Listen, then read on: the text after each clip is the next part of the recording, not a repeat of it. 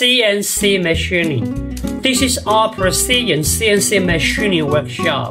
Numerical control machining is a kind of processing technology widely used in the final machined parts.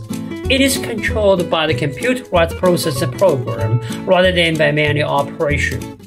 We have various types of processing equipment, including automatic lathe, CNC lathe, cold heading machine, etc.